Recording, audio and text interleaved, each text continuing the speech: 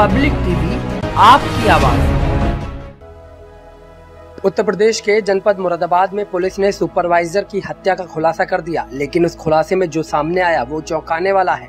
Police के मुताबिक supervisor के दोस्त ने ही पॉलिसी का एक करोड़ छियासठ लाख रुपए हड़पने के लिए गाड़ी से कुचल कर हत्या कर दी थी और उसे एक्सीडेंट का रूप देते हुए सड़क के किनारे पर फेंक दिया था। पुलिस ने हत्या में कुल पाँच आरोपियों में से चार को गिरफ़्तार कर लिया है। साथ ही एक साथी पहले से ही जेल में बंद है। पुलिस अभी भी अन्य तथ्यों पर मामले की जाँच कर रही है। दरअसल मामला है जनपद मुरादाबाद के थाना पागबड़ा क्षेत्र का। 8 सितंबर की रात सड़क के किनारे एक सुपरवाइजर का एक शव मिला था, जिसका पुलिस ने आज खुलासा करते हुए चार आरोपियों को जेल भेज दिया।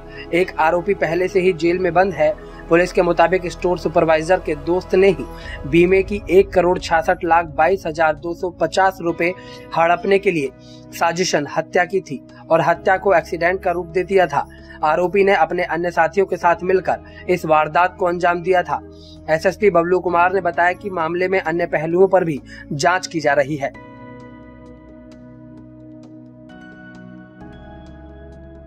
दिनांक 8 सितंबर को थाना पाकवारा क्षेत्र में। एक डेड बॉडी मिलने की सूचना थी जिस पे तत्काल सभी अधिकारीगण के द्वारा मौके का मुआयना किया गया और मृतक के परिजन के द्वारा दिए गए तहरीर के आधार पर 302 आईपीसी का मुकदमा थाना पाकवारा में दर्ज किया गया था।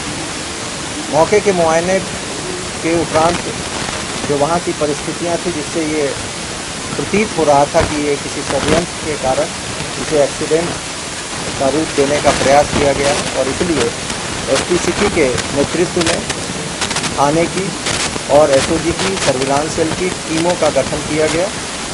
आज हमारी टीम का को इस पूरी घटना का सफलतापूर्वक अनावरण करने में हमें सफलता मिली है और इस घटना में सम्मिलित पाँच अभियुक्तों में से चार अभियुक्तों को गिरफ़्तार करने में सफलता प्राप्त हुई है। इनके पास से एक बोलेरो गाड़ी, जिसका घटना कारित करने के समय उपयोग किया गया था, ये भी बरामद किया गया है।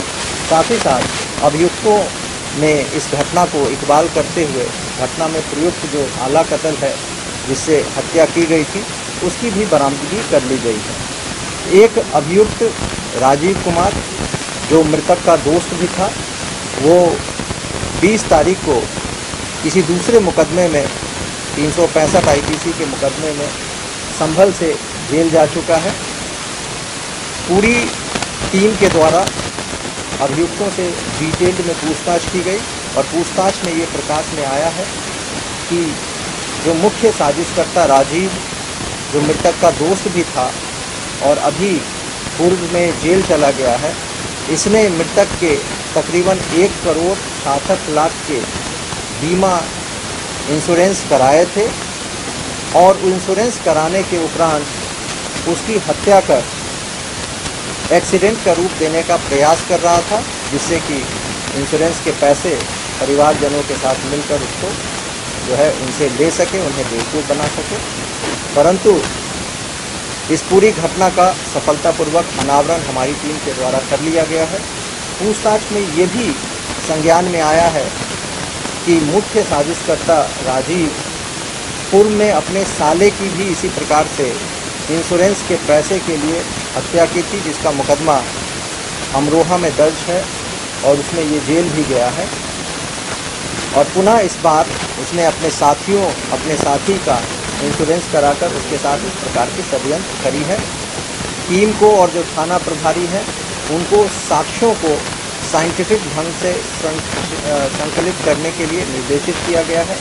जो गाड़ी जहाँ पे घटना हुई है, उसमें कुछ ब्लड के स्टेन्स भी पड़े हैं, जिसको फ़ील्ड यूनिट के द्वारा उठाया जा रहा है और साक्ष्य में लगाकर माननीय न्यायालय के समक्ष प्रस्तुत किया जाएगा।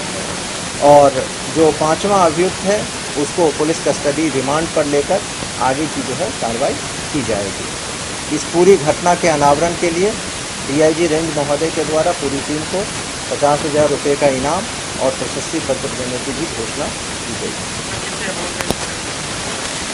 देखिए, जैसा मैंने बताया कि ये जो चारों अभियुक्त थे, जो मुख्य साजिशकर्ता के साथी थे, उनको ये बताया गया था कि इंश्योरेंस कराई गई है, जो हम लोगों की छानबीन हुई है। इससे ये जानकारी मिली है कि कुल तीन इंश्योरेंस मृतक के नाम एक करोड़ छियासठ लाख के थे, जिनको कराया गया था। और उसमें जो एड्रेस है और जो मोबाइल नंबर इंश्योरेंस पॉलिसी से लिंक है, वो राजीव ने अपने रखे थे, अपने लिखे थे।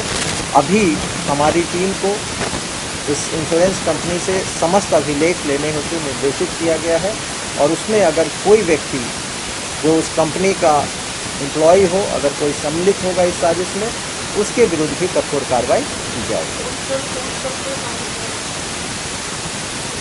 ये मृतक जो है पाकवारा से संभल रोड पर एक फैक्ट्री है, उसमें सुपरवाइज़र के तौर पे काम करता था और जहाँ पे जब ड्यूटी उसकी ख़त्म हुई थी, वहाँ इस व्यक्ति ने अपने साथियों के साथ पाँचों लोगों ने अपनी गाड़ी में लिया और उसके बाद इस घटना को तारीफ़ करके रोड पर एक्सीडेंट के तौर पर जो है उस डेड बॉडी को रख दी थी ताकि जो है पुलिस और अन्य लोग, परिवारजन गुमराह होकर उसे एक्सीडेंट समझे और फिर आगे उसको क्लेम के पैसे जो है मिल सकते पब्लिक टीवी आपकी आवाज़।